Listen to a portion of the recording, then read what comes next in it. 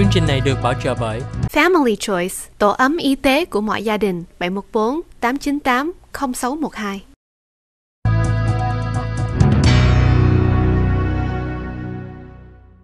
Kính chào quý khán thính giả, chúng tôi là luật sư Đỗ Hiếu Liêm. Bây giờ chúng tôi trở lại với quý vị với chương trình Người Việt luật Mỹ mà quý vị có thể tiếp tục gọi vào đài qua có số điện thoại trên màn ảnh của đài là 714 893 3264. Hello, tôi luật sư Liêm tôi ở đây. Hello. Dạ, dạ chào ông.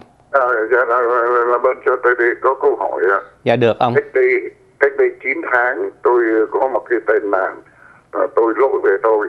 À, Thế bây giờ là hãng bảo hiểm nó bồi thường nó nó bồi thường xong ờ, nhưng mà có thể là nó over cái cái, cái số tiền mà cái người bị nạn đó họ đòi à, thành ra mà tức là nó, nó, nó bảo hiểm nó trả hết cái cái, cái policy rồi thì Dạ. tôi còn phải trả thêm dạ. tôi không tiền tôi trả thì làm sao giờ Thì họ cũng không làm gì được ông đâu.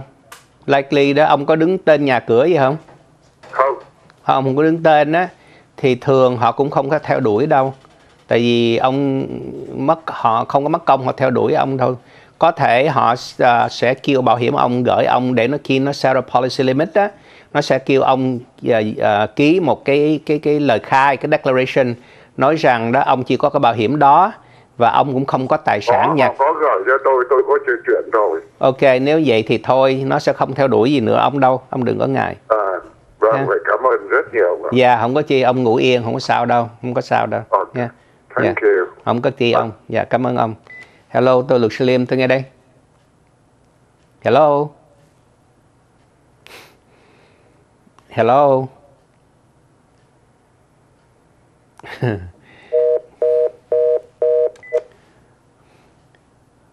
He- Hello.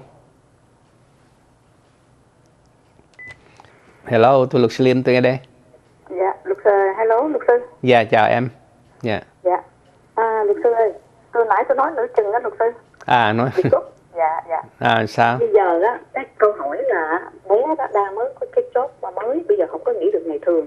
Thì muốn đi luật sư thì ngày nào, thứ bảy có luật sư, nếu mà đặt cái hẹn. Dạ nếu mà hẹn ờ, bà là, là cái vấn đề ok tức là hồi nãy tôi đang off air đó bà nói chuyện cái vụ mà hai vợ chồng qua đời rồi có cái will phải không?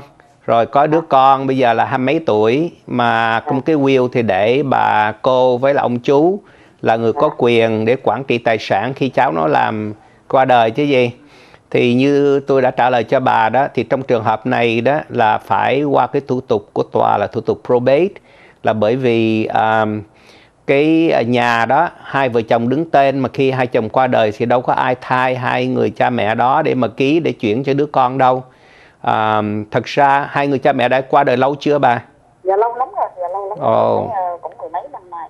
ồ tại sao tới bây giờ mới ấy ha ngộ ha Dạ, vì bé không biết, bé ở con ở bà nội rồi, với cô rồi không biết. Bây giờ tao mà- ờ, với, với, với cô rồi tôi là gì không? ồ Không biết, đó bây giờ mình thay đau thì mình thì bây giờ đó Dạ đó. tại vì đó và tại vì tuy là à, hai vợ chồng đó có cái di chúc là cái will Dạ. nhưng mà khi có cái will thì vẫn phải qua thủ tục probate như thường do đó đó thì à, bà có thể liên lạc với văn phòng luật sư của tôi à, hay là nếu mà bà có số điện thoại thì tôi có thể liên lạc được với bà à, thì sau đó đó thì tôi có thể cho cái hẹn. Thì khi có cái hẹn đó thì tôi cần cháu là cái người con ra Dạ. và đồng thời mang theo à, cái di chúc. À, khi khi ra probate đó thì thường tòa nó sẽ bắt đưa cái di chúc cái bản chính đó à, đó nếu có bản chính thì càng tốt. Rồi cái tiền là là là, bao mình phải trả là bao nhiêu phần? Cái um, cái tiền đó thì sau khi cái case probate nó làm xong rồi đó thì tòa mới quyết định là cái số tiền đó bao nhiêu và thường nó sẽ trả theo cái luật định đã ấn định sẵn về cái tiền phí của luật sư. Về vấn đề những cái chi phí khác đó thì thường nó sẽ có những chi phí sau đây. Thứ nhất là cái chi phí cho tòa thì có thể sẽ phải đóng hai lần. Lần thứ đầu tiên là khoảng 465 đồng lần thứ hai khoảng 400 đồng. Rồi sẽ có cái phí thứ ba có một cái phí nữa là phải đăng báo. Thì cái tiền đăng để trước cái ngày hearing thì cái tiền đăng báo khoảng năm sáu trăm gì đó. Rồi đó khi mà tòa bổ nhiệm cái người đứng ra để quản trị cái tài sản đó để để mà thu góp kết xúc đó thì nó sẽ bổ nhiệm một cái người để định giá cái tài sản của người qua đời. Nó gọi là probate referee. Thì cái người đó sẽ định giá thì cái người đó họ có quyền họ lấy cái fee mà tòa cho phép là một phần trăm ok. Một phần trăm của cái nhà. Một phần trăm của cái nhà. Còn tiền luật sư phí đó thì không có lấy cho đến ngày cuối cùng khi tòa chấp thuận về vấn đề cái probate hoặc là chuyển chủ quyền cho người con hoặc là bán vân dân thì khi đó đó mới là mới mới được trả cái tiền luật sư phí. Là luật sư phí thì bao nhiêu là luật sư phí tùy theo cái trị giá của cái tài sản của hai người qua đời. Ờ, cái thì gross giá của estate. hiện tại phải không cái giá trị của không phải giá hiện tại.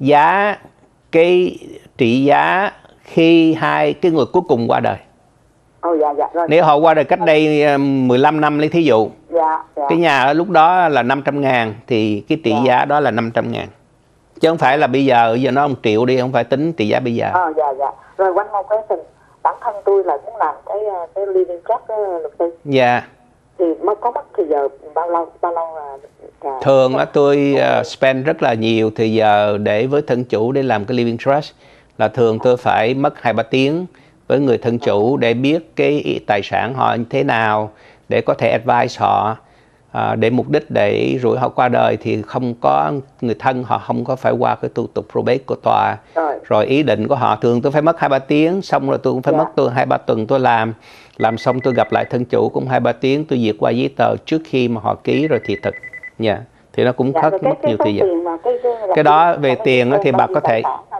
rồi? cái tiền đó thì thì thuộc sau cái um, cái uh, cái cái người đó họ có bao nhiêu cái bất động sản lý do đó là bởi vì cái bất động sản cái tiền khi mình làm cái living trust đó thì cái người luật sư phải chuyển cái title của cái nhà đó vào trong cái trust. Và thường đó nếu mà quý vị đứng là vợ chồng mà đứng là joint tenant đó Dạ. thì nó có bất lợi về vấn đề thuế. Do đó tôi phải chuyển từ joint tenant sang husband and wife as community property with right survivorship. Rồi cái đít thứ hai tôi mới chuyển vào trong cái trust mà quý vị đứng là trustee. Thì do đó mỗi cái property đó là tôi phải làm tới có thể phải làm tới hai cái deed lần mà cái tiền recording nó bắt đầu từ 2018 đó nó tăng lên rất cao. Thành ra vì vậy đó tùy theo là quý vị có nhiều khi nó dạ Có một hai căn nhà thôi không có gì hết. hai căn nhà già thì nếu mà phải làm hai bốn cái deed thì nội cái tiền recording không á là cũng phải có thể là 600 đồng cái tiền recording. Dạ. Ồ, rồi còn Th- tiền gì nữa? Rồi tiền luật sư phí thôi Dạ. luật sư phí là bao nhiêu dạ tôi bà nói gọi tôi bà tôi không tiện nói đây bà có thể gọi dạ, văn dạ, phòng rồi rồi ha tôi, tôi sẽ gọi liên lạc Dạ, sư cảm ơn bà. luôn. dạ chấm chào bà không có chi Dạ. bà dạ chào bà dạ dạ bye Dạ bye bye. À, tới đây thì chúng tôi phải tạm ngưng để đài chạy phần quảng cáo thương mại. Quý vị chờ đường dây thì tiếp tục giữ đường dây điện thoại của mình. Chúng tôi tiếp tục trả lời câu hỏi quý vị.